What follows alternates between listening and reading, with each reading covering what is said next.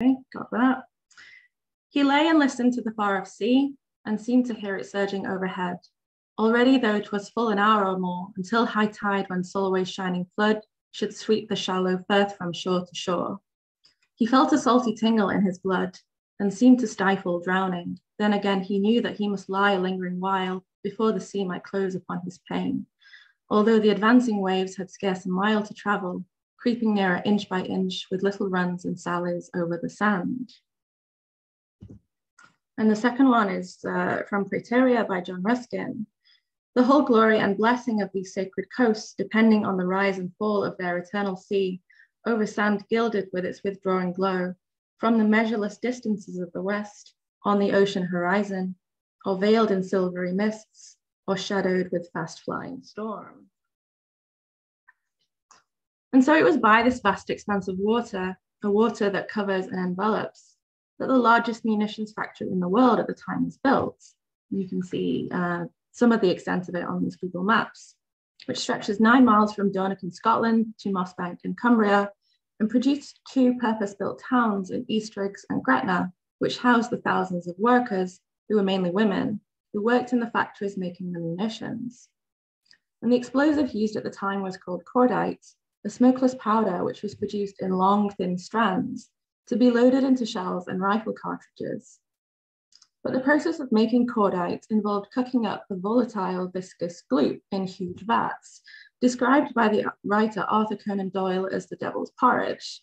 And I feel like for some of you, this will not be new information at all, but for those of you who asked me, what the hell is devil's porridge, this is your answer. And the factory was built as a response to the arms crisis in 1915, which saw Britain's firepower severely curtailed by sluggish munitions production. Built over the course of six months by 10,000 Irish navvies, by 1917 it was churning out 800 tons of cordite a week. And this played a huge part in the eventual victory for the Allied powers in 1918. So the site for the munitions factory, which is codenamed Moorside, was chosen for its isolated location on the Solway Firth. The area was sparsely populated, but it had excellent transport links due to proximity to Glasgow and the northwest of England, it was also far enough away from mainland Europe to thwart a Luftwaffe strike or a Zeppelin attack, and mines in the surrounding area provided raw materials. But the landscape itself also played a key role in the decision to place the explosive factory there. The low-lying hills that surrounded the region and the humidity of the estuary meant that the site was often shrouded in mist, which was ideal for keeping it hidden. And meanwhile, the tides of the Solway provided not only a supply of water, but was also a convenient place to dump waste. And a document that I found in the Devil's Porridge Museum archives confirmed that untreated waste was pumped directly into the estuary. By building the factory di directly next to the shore, the undulating nature of the tides blurred the boundaries between land and water, factory and shoreline. And in her paper, Slippery Ontologies of Tidal Flats, the scholar Young Rae Choi speaks to speaks of the in-betweenness of tidal flats stating, in our geographic imaginary, between land and sea, however, fails to recognize the port, sorry, the boundaries between land and sea are often thought of as a line. This long-standing binary, however, fails to recognize the porousness, dynamics, and multiplicity of the spaces between land and sea. In this imaginary, the in-between zones characterized by an ever-changing interplay of land and water are rendered invisible. The Gretna munitions factory shaped and was shaped by the rise and fall of the Solway waters, but the land itself, partitioned by MOD fences, presents a physical boundary between the shore and land. And as I found firsthand scrambling over collapsed brickwork, knee deep in undergrowth, at times clinging to the wire mesh to stop myself from slipping onto the beach with its incoming tide. And the boundary is encapsulated quite nicely in yet another poem, and this one is something I found from a commemorative annual written at the winding down of the factory in 1918. This lonesome flat by saline breezes swept, home of the raucous gull and nimble hare, by warriors old and bobbies once kept inviolate as Dora's self, for there, within a barbed fence, eight feet or more, a trousered throng of lasses fair and free of speech assembled, and each day incorporated umpteen tons of RDP. RDB being the explosives that they were making. So after the war, the MOD attempted to sell the land. This is from the um, auction papers. And they even contacted several of the wealthiest people in Britain with a right of purchase. But the site and its infrastructure, which included the town of Eastriggs, was just too huge for anyone to take on. And today, the Longtown site is still in operation as a storage facility, but the rest has been mothballed for decades. And to walk around the perimeter is to be warned in no uncertain terms not to trespass on MOD property. But you also can't fail to notice the abundance of wildlife deer, rabbits, foxes, and all manner of birds. And I spoke to Gordon Rutledge, who's the former head of the factory floor at Longtown and is now a local historian. And he recounted the frequent encounters with animals and birds during his tenure and how the mothballed sites have almost been reclaimed by nature. The good thing about these military sites and these shooting ranges and places there's a lot of conservation that goes on by the shore.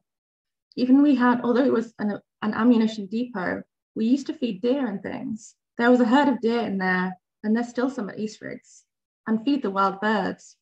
So even though there were shooters at the time, there were also there was also conservation. The foundations of the old laboratories were flooded, and there were fish in there. There were all sorts of butterflies, birds' nests everywhere, so it was ideal for conservation. And I mean, the ammunition business didn't really disturb the wildlife. They could survive next to each other. Wildlife and the ammunition business have survived next to each other for a long time on the Solway. And despite the bounded spaces of the factory and other military infrastructures in the area, these boundaries are frequently transgressed by non-humans. Just like the tides, such spaces might be conceived of as in-between zones, places that resist categorization or spatial fixity. But for me, the main reason that brought me to the Solway was the geese, the barnacle geese specifically. And so the barnacle goose is a medium-sized goose with black, white, and grey body and a white face. And they received the name since their origin was deemed a mystery to the medieval folk who claimed that the geese must have hatched from barnacles as no chicks had ever been seen. And another explanation was the barnacle goose tree, upon which the geese ripened like fruits and dropped to the ground like apples. And so pervasive was this myth that Pope Innocent III hosted a council debate on whether the goose should be classed as a bird or a fish, or even a fruit, I guess. And if it was the latter, was it permissible to eat during Lent when all meat should be avoided? And later, Pope Pius II traveled to Scotland and attempted to hunt down the barnacle goose tree. But every person he asked directed him further and further north until he was told the tree was located in Orkney, and he gave up. So my hunt for the goose was a little more successful, although the first one I saw was dead. She was lying on the beach, surrounded by shells and bricks stamped with the Buccleuch terracotta works name. And the current Duke of Buccleuch is the largest landowner in Scotland's already vastly unequal land ownership network, although his reach doesn't extend to the Solway. Land ownership here largely comprises Ministry of Defence lands and the stewardship of Lady Clare Kerr, but the Solway coast itself, including the beach where I found the dead Barney, is covered through a patchwork of marine protection orders and conservation zones. Due to devolution, Scotland administers different conservation bodies to that of England, but together they form the Solway Firth Partnership that recognises the transient and dynamic nature of the wildlife there that does not correspond to borders and boundaries. The Barneys themselves roost on the English side of the Solway and fly across the firth to feed on the Scottish side. I don't know how the barnacle goose on the beach died, but a reserve manager at Caerlaverock Wildfowl and Wetlands Trust later tells me it is rare to find a barney dead from natural causes. More likely, this particular goose died from avian influenza. And the reason I don't refer to avian flu as natural is because it isn't. As a virus, it emerged in the mid 1990s from a commercial goose farm and spread into the wild bird population. And various outbreaks have occurred since then, but the current outbreak that has devastated seabird and goose populations since 2021 seems to be less deadly than the others, but in turn is able to travel further and infect wider. In the winter of 2021, the world's barnacle goose population suffered losses of around a third, and on the Solway itself, that meant 16,000 geese perished. I came to the Solway just as winter was beginning in 2022. The atmosphere was uneasy. Could such devastation happen again? And as I came to the end of my walk, I picked up on rumblings of worry. An interview was cancelled because the person in question had to attend a meeting with the Scottish government over their avian flu response. More barnacle geese were found dead. Whilst this year's outbreak hasn't been nearly as devastating as last year's so far anyway, the situation for wild birds remains critical and will continue to do so while the so-called boundaries separating wild birds from domestic birds are blurred and fuzzy. Wild birds here are unwitting vectors of the virus, aided by the freedom of flight and non-captivity, and are not invasive transmitters as they are so often constructed by the media. And the Solway barnies, of course, do not hatch from barnacles, nor do they ripen on trees. They fly almost 3,000 kilometers from their breeding grounds on the Arctic island of Svalbard, stopping just once until they reach the Solway. Their chicks must be ready in time to undertake this grueling journey. So at only a few days, they are forced out of their nests in order to take a freefall jump down the steep cliff to the grassy feeding grounds below. Many of them die. Whilst barney chicks are so light and fluffy that they tend to bounce off the rocks, they are often met by a host of predators waiting to snap up an easy meal at the bottom. Those that make it must then fatten up on nutrient-rich grass and insects so they have enough energy to fly to Scotland. Don't worry, this particular goose survives. So that any of the chicks survive the journey is almost miraculous. But this is a Svalbard story.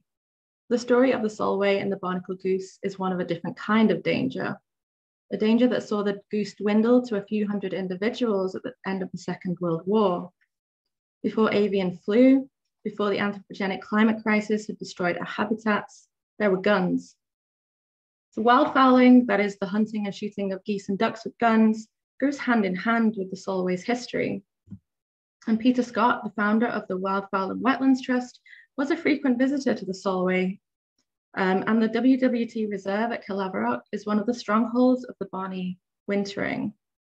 And Scott himself was a keen wildfowler and shot many geese over his lifetime before seeming to make an about turn and focus his efforts on conservation. He embodies the fundamental tension of the Solway, that humans and geese have lived alongside each other for centuries, but that relationship has not always been harmonious. And Peter Scott not only founded the WWT, he also invented the cannon net. And this explosive propelled net became key for capturing and ringing birds, notably geese, for conservation purposes.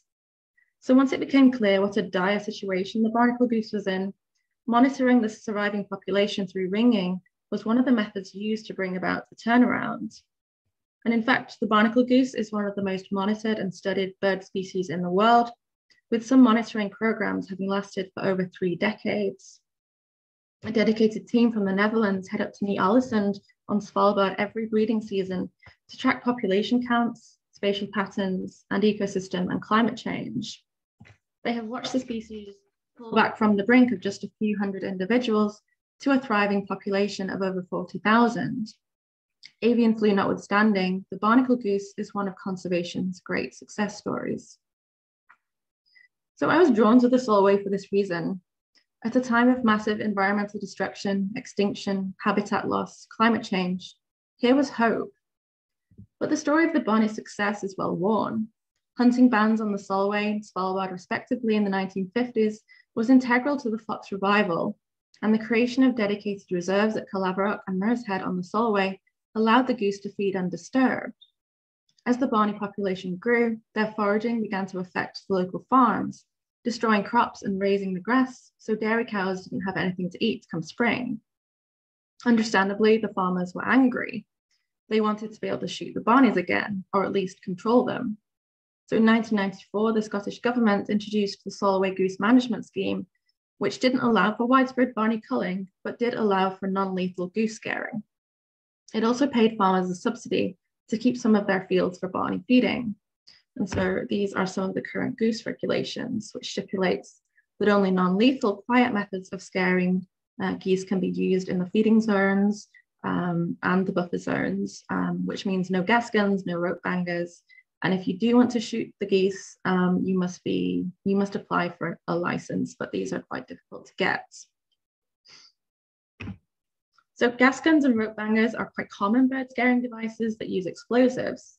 And whilst they are not permitted by the goose management scheme in many cases, they do still get used. And I interviewed a local who spoke of sometimes hearing the bangs across the fields like fireworks. Quiet scaring doesn't work, the farmers say. The geese learn that there is no threat and return to the fields. And a 2017 government report on the success of the goose management scheme states its limitations. So on the Solway, there's been an increase in numbers and expansion of areas being heavily used, with current numbers in excess of 40,000 Svalbard barnacle geese. That has resulted in an increased goose density and an expansion in the areas used by geese, including into the areas outward the current scheme area. There have been requests for an extension to the current goose management scheme area and some license applications submitted to, present, to prevent agricultural damage. And this request was rejected due to costs um, and unwillingness to extend the scheme, and two licenses were applied for and have been issued to shoot small numbers of barnacle geese to prevent serious agricultural damage. But farmers privately worry that the goose management scheme payments will come to an end and they will be faced with a standoff between the geese and their livelihoods. And I spoke to one farmer whose fields were regularly full of barnies and who thought the scheme worked, but was concerned about the delicate balance that exists between conservationists, bird lovers, farmers, and government bodies. And he states, when the geese were at around 10,000, everybody got on. You know, they shot some, they're on the land, it was fine, no problem. But as they got protected more and more and they started to be here more and more, this, this farm, we couldn't farm it without the goose payments. There's just so many geese on it. You know, if they go tomorrow, right, that's it. And he's referring here to the potential ending of the goose payments. We'll scare these geese with rockets and gas guns and shooting, and we'll keep them off the land because we have to. But that's going to accept, upset everybody. Explosives saturate the Solway landscape. On a visit to Caerlaverock with a keen brownie watcher, he points out to me that the straight concrete paths were used to transport munitions during the World Wars. War games were held on the shores using the wide, flat expanse of the estuary as a buffer zone. And even today, the Army training base at Kirkcudbright hosts regular tank battles. When the red flags are flying along the shore, you can't access the beach. And I abandoned plans to walk there for this reason, given the unpredictable nature of the place and the possibility of an exploded ordnance. But the Solway waters themselves have not escaped explosives either. In the 1980s, the Ministry of Defense fired 30 tons of explosives containing uranium into the sea off the coast of Kirkcudbright their excuse for this illegal act being that the explosives were placed there rather than dumped. And in her sound art piece on the event titled The Sea Cannot Be Depleted, the artist and scholar Wallace Heim states, the firings were a rehearsal and were hostile fire on homeland, not only the infusion of nuclear waste into the wild sea. How can one understand the slow corrosion that remains? What does it mean for a place, a people, to cohere with the unseen objects of war? The bodies are, are inextricably entangled with the history of explosives on the Solway Firth. They may have little to do with uranium shells, but their life worlds intersect with a landscape that has been curated by guns and munitions in various forms and have seen their populations rise and fall with the use of explosives, either with or against them. So when Wallace Heim asks, what does it mean for a place to cohere with the unseen objects of war, she is grasping at exactly this, this intangible heritage of land ownership, buried histories, and a culture saturated with gunpowder. And wildfowling is still enthusiastically practiced on the Solway, and barnies are protected, of course, but other geese and fowl are not. Companies charge high prices for shooting trips, where one might shoot a bag, which is a set amount of wildfowl, of geese and post the pictures proudly on social media. The local wildfowling groups are often powerful lobbyists with the government making the case that their pastime is part of the cultural heritage of the Solway. And as I continued my walk, occasionally ducking into pubs, I heard rumours that the Victorian practice of punt gunning still took place.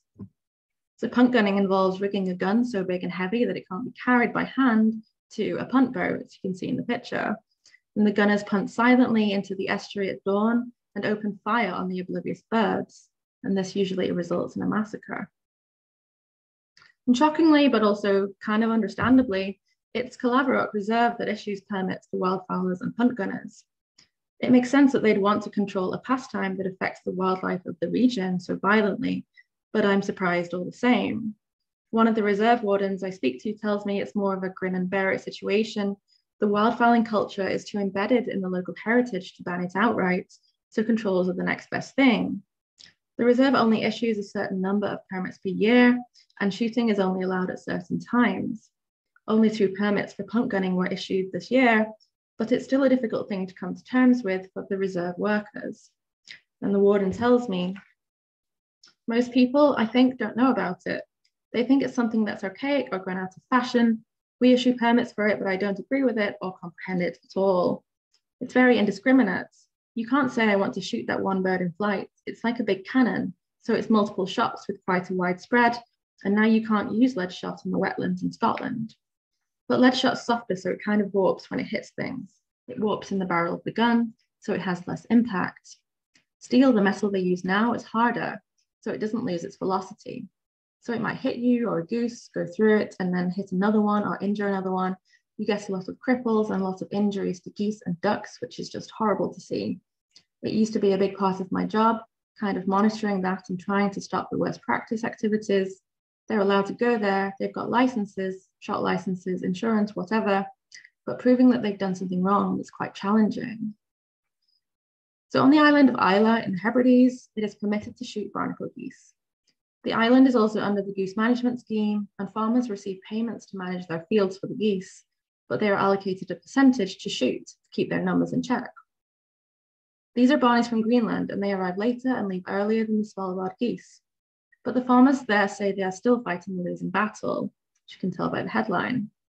They should be allowed to shoot more Barneys. And to those in the Solway who aren't allowed to control numbers at all, this can, of course, be quite galling. And several people I talked to spoke of the island bias of the scheme, a sort of unfair disadvantage to, be, to being attached to the mainland.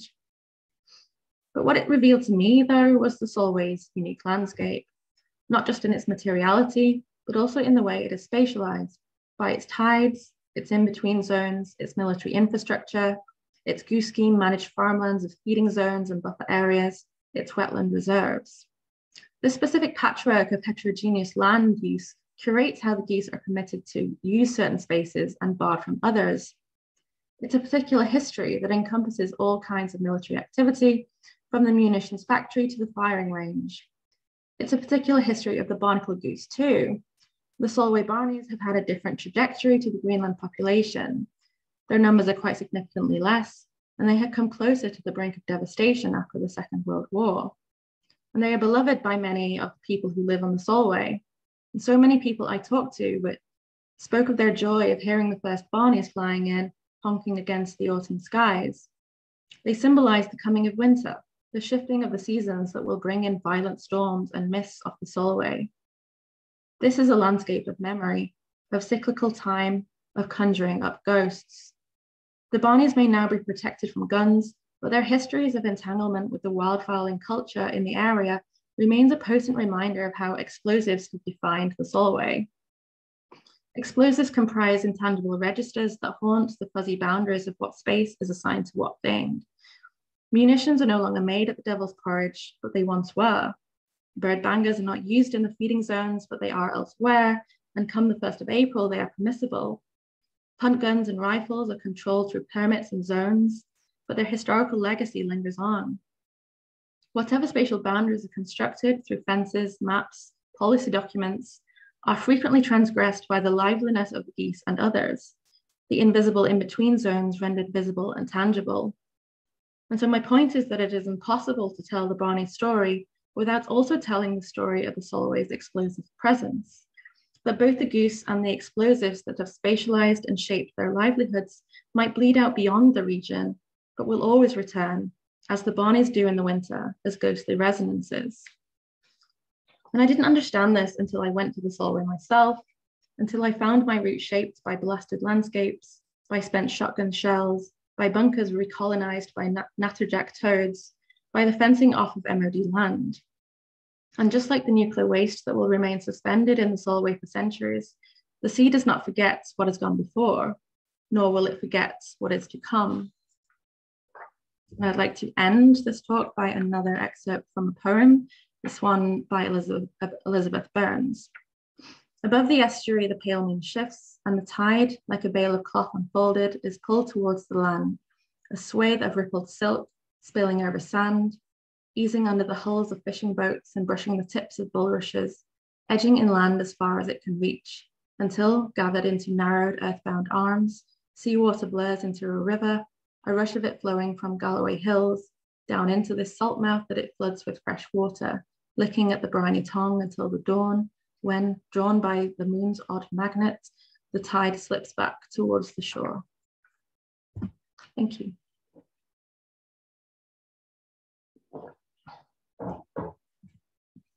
Thank you very much, Charlotte.